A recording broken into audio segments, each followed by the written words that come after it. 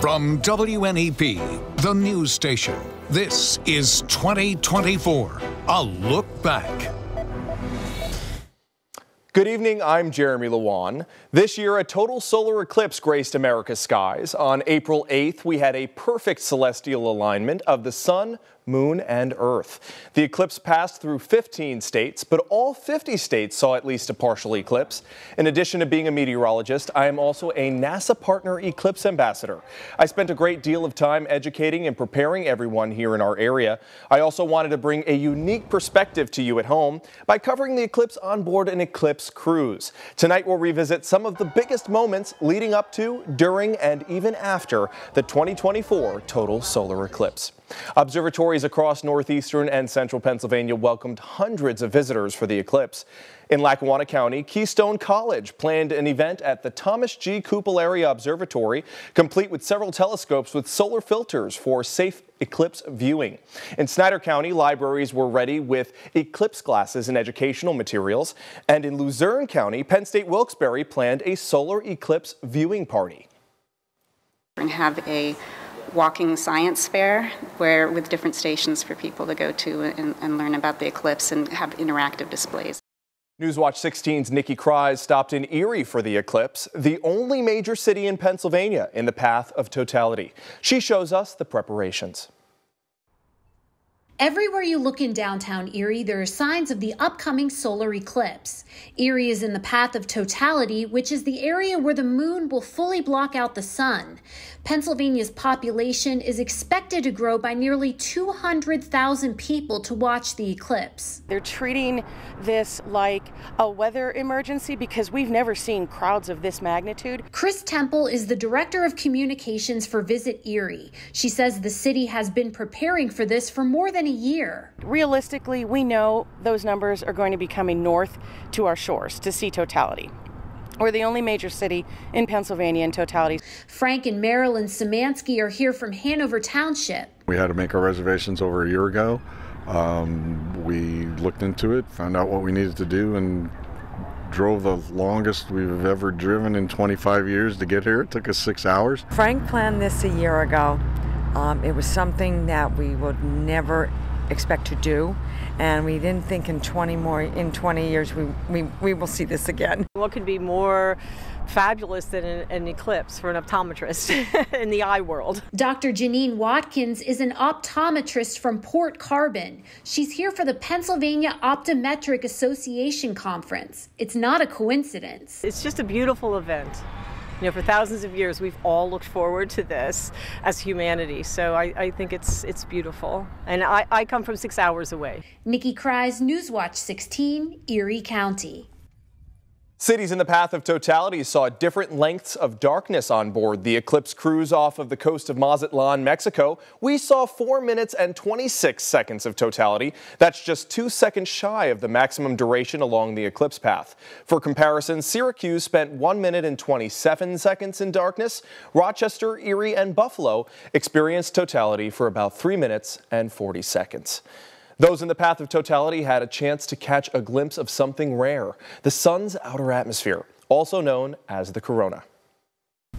The sun's outer atmosphere, or corona, is elusive. It is almost always hidden by the sun's bright surface. It's a very different kind of thing than you ever see anywhere else in nature. Scientists still don't understand it. Scientists have been struggling for decades to try to understand how does the sun's upper atmosphere get heated to millions of degrees by a surface that's only 10,000 degrees? Now, that's very counterintuitive. If you put your hand near a fire, it's very hot, and as you pull your hand away, it gets cooler. Although the corona is hundreds of times hotter than the surface of the sun, it is also millions of times less dense, causing it to appear extremely dim. So we only get the chance to see the corona, even though it's always there.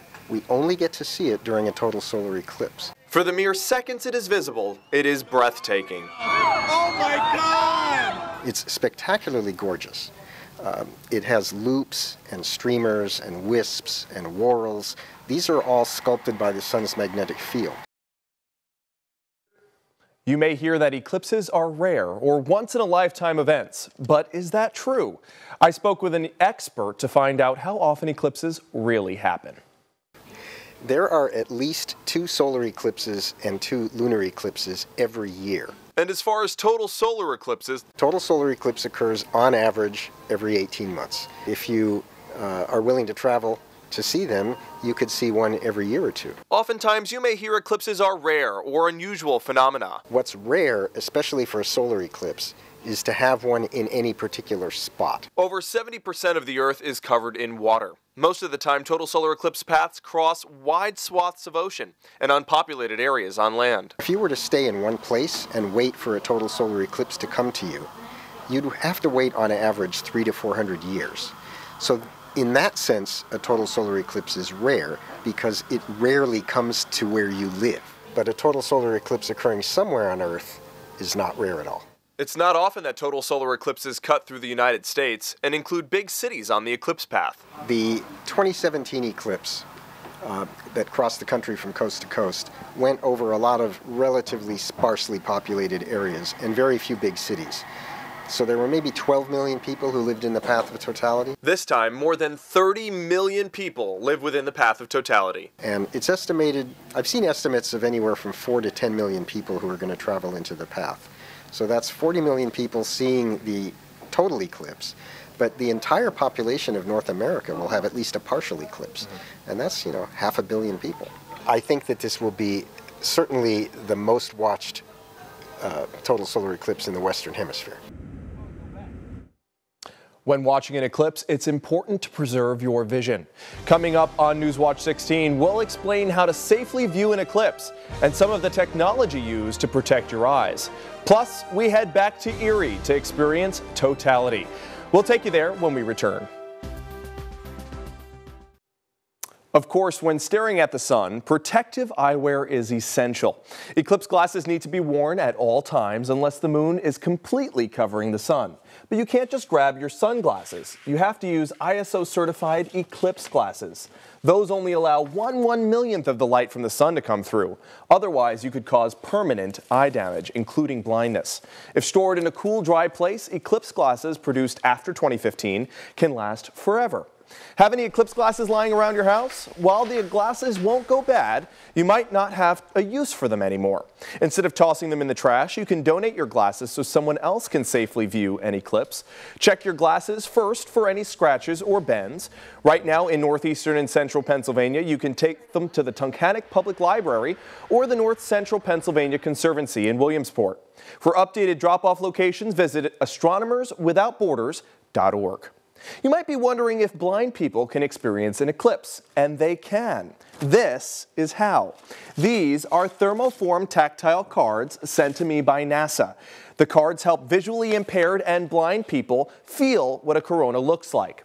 They can also be useful for sighted individuals to understand the shapes of the sun's outer atmosphere. I shared these cards earlier this year with members of the Lackawanna Blind Association.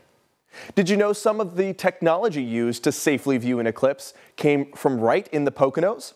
Newswatch 16's Emily Kress spoke with a woman whose dad created the Sun Spotter.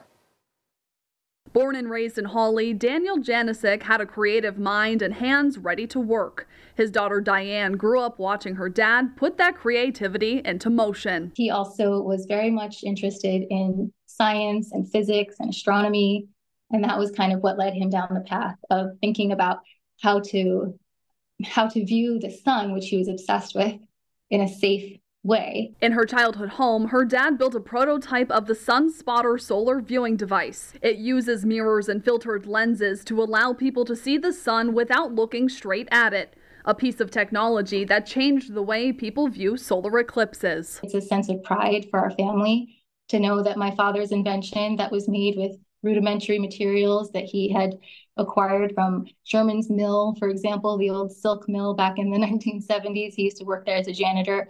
He would acquire these rudimentary pieces and he put together this telescope that is now being used all over the world. After Janicek perfected the design, he applied for a patent in 1979. A few years later, in 1984, the patent was awarded. Diane says back then her dad sold the sun spotters for about $40 each. Unfortunately, lost the patent. He died in 1995 unexpectedly, and my mom didn't know about patent law. She never renewed it.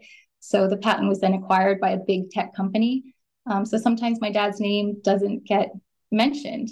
One of the sun spotters based on Janicek's design is displayed in the Air and Space Museum at the Smithsonian in Washington, D.C. Emily Kress, Newswatch 16.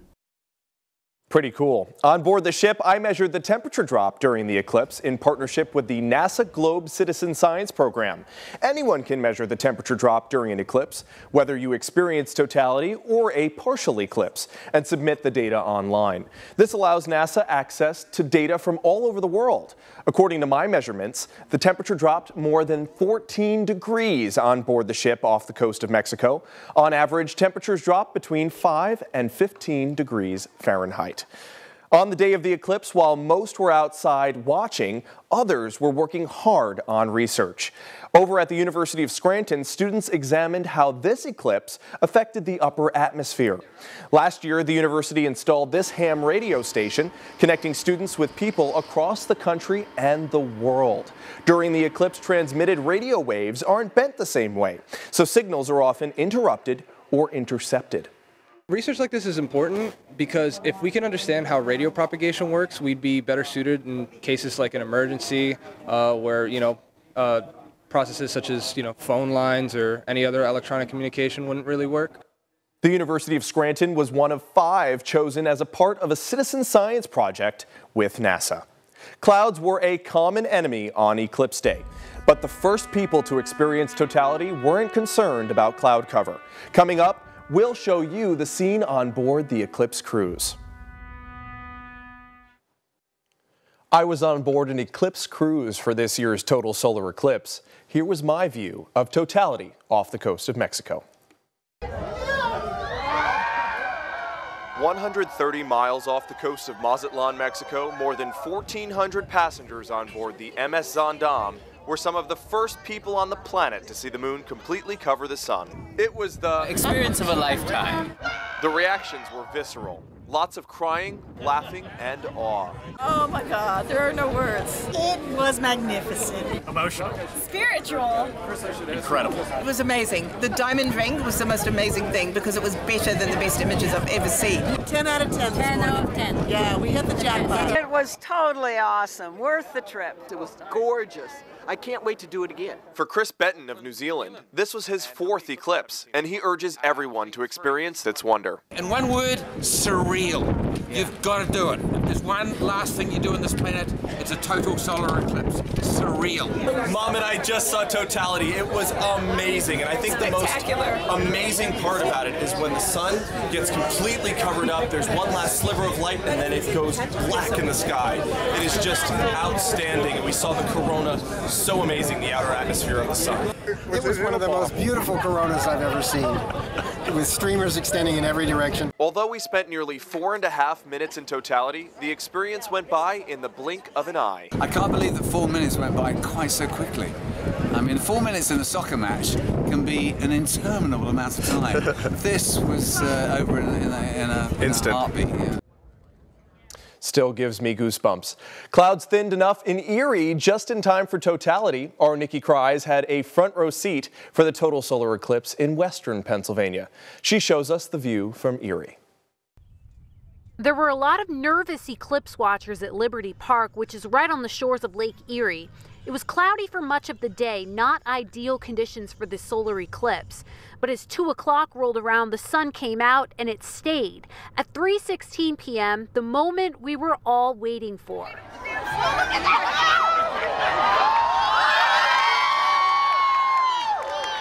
For 3 minutes and 41 seconds, it got darker and significantly cooler outside. We could see stars and other planets. This was like magic. This is not something that I can ever imagine. I had tears in my eyes. People were wide eyed and excited. It was incredible. I can't even describe it. I mean, pictures don't do it justice. It was amazing. So, really, like, once in a lifetime experience. It got so cold and then it got so dark and then all of a sudden it was just luminescent. It was beautiful. So I really am glad I'm here. I thought it was so cool the moon covering up with the sun. Newswatch 16 caught up with some folks from northeastern Pennsylvania. This crew drove from both Moosic and Pleasant Mount. As it got closer, I realized it's a once in a lifetime event And I just thought, why not? When am I going to get to do this again and with friends? And it's just an experience to have. I was going to come no matter what. Like, if everybody else said no, I don't want to go, I was coming anyway. So, you know, if I just had to sit in a truck somewhere and just. I don't think I'll be able to experience again in my life, so I'm here to do it. And so he wanted to come anyway, so we're coming. Nikki Krize, Newswatch 16. Here in northeastern and central Pennsylvania, many people weren't so lucky. Cloud cover hindered the view in Lackawanna County. At Oak Ridge Rehabilitation Center in Taylor, all residents and staff could do was look at the sky and hope for the best. Residents told us breaks in the cloud coverage allowed for brief glimpses of the eclipse. You could see through the clouds, you could see a quarter moon stuff at times, or a quarter sun. We saw a little bit, so we weren't totally disappointed. For Emma Schweers, this was her second eclipse in two different centuries. She saw her first one in 1979. Families came out to Penn State Wilkes-Barre in Lehman Township to see a partial solar eclipse in the back mountain. The chance of clouds didn't stop hundreds of people from showing up with, with hope. Once the sun came out, the crowd cheered until it was quickly covered up by the clouds. Like a, a bright orange moon, a, a crescent, and it was uh, that was a great thing to see. Folks in Luzerne County told us they would remember their glimpse of the solar eclipse for years to come. We asked and you delivered. Dozens of viewers showed us their perspective on Eclipse Day. We'll take a look back at your photos next. Pennsylvania proved to be quite the destination during the eclipse. Although corners of the Commonwealth were treated to totality, our viewing area saw between 92 and 99% totality, and you captured each stage of the spectacle. I want to start first in our Valley cities. I'm going to zoom in on Scranton, where we got several submissions. This one came from Terry from Scranton, right there on Penn Ave. And take a look at the detail in the surface of the moon as it started to cover up the sun. Terry, thanks for sending that one in. This one also from Scranton from Noreen. But notice how the clouds were just so prevalent across central and northeastern Pennsylvania, even in the Valley cities. All right, let's zoom out and take things a little bit further to the south south near Carbon County. These came from Weatherly. Look at this, like a time lapse almost between earlier phases of the eclipse and the biggest parts of the partial eclipse here was about 94% coverage there in Carbon County. Let's take things out to central Pennsylvania. This one in Westfield. Look at how much coverage of the sun there is there. Love that. Thank you for sending that one in. And finally, got to end on a great photo that came in from another viewer of ours. I think it's just adorable. This pup was definitely prepared to see the eclipse safely. Thank you for sharing your photos with us. Coming up next, we'll share the story of Eclipse the Eagle and reveal some upcoming eclipse dates. The total solar eclipse wasn't the only eclipse in the skies. Eclipse the Eagle in the Poconos took a dip on the day of the eclipse. Pocono Wildlife received a call on April 8th about an eagle with an injured wing near the Delaware River. Staff decided to name the eagle Eclipse. The solar eclipse was just on the verge of taking over the sky when she was rescued. When the crew arrived, the eagle tried to fly but fell into the river. Avian specialist Samson Metzger jumped in to rescue the bird from the water. It was like up to my chest. I took two steps and it just dropped. So I had to swim against the current to get up to her. After her wing healed, Eclipse the Eagle was released back to her home along the Delaware River in July. A total solar eclipse won't be visible across the entire United States again until 2045. But if you can't wait until then, the next total solar eclipse is April 12, 2026, visible in parts of Europe. For the U.S., the next eclipse is in 2033, and that'll be visible in Alaska. Then in 2044, an eclipse will dip into the northern plains of Montana and the Dakotas. And for the one in 2045, it will cross the country from California to Florida. That wraps up our look back at the 2024 total solar eclipse. Thank you for joining us. Have a great night.